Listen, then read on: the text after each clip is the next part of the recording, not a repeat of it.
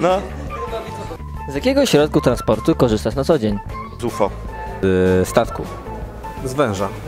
Wkręciłem cię w tym momencie. Czekaj. Jak się takie coś nazywa? To się y, podłącza do prądu i to grzejnik. Lama. Lama. Lama. Lama, no. Stado. Wszyscy przeszkadzają. Kabel! Kabel! Co robisz? Kim jest Janusz Groszkowski? Nie wiem, choć się domyślam. Czy w szkole jest winda? No tak, wjeżdżam ją na trzecie piętro. Według moich obliczeń e, to jest, e, można policzyć ze wzoru, bardzo prostego. Tak. E, Wyślę ewentualnie później na, na maila wszystko. To jest legenda, legenda można powiedzieć. O, pszczółka. Czy szkoła ma schron przeciwlotniczy? Cóż to za pytanie? Oczywiście, że ma. Elektryk by nie miał. Nawet mamy kilka. Dla VIP-ów. Nie będę się chwalić. tak.